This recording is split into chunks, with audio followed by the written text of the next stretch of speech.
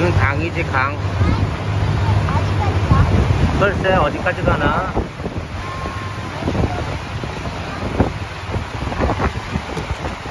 So we already talked about the red Sir, mangrove. I need you to grab a seat. I got kayaks and things I gotta. Gotcha, I thank you. So here on the left side, this is all one red mangrove tree here.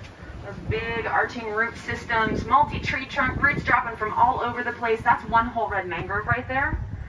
And Native Americans nicknamed them the walking tree with how they kind of walk down and sprawl into the water there. So that's a good way to kind of see it off by itself because really what you start seeing is off here to the right side where they're all tangled into each other. You can't tell one tree apart from another. Um, but good thing to know is they do grow in layers. So you're going to have your red mangroves that are right down in front. And then as you look behind, you're going to see darker tree trunks. Those are going to be those black mangroves back there.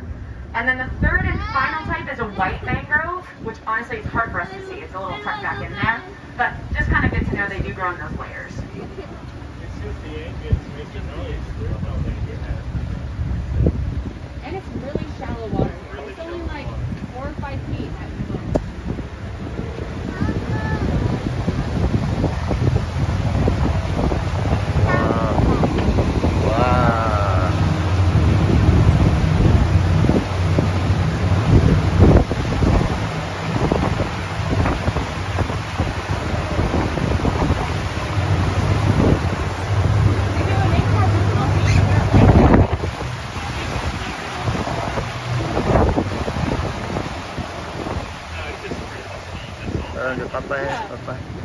Got a pretty invasive species here. The American kayaker on the right side.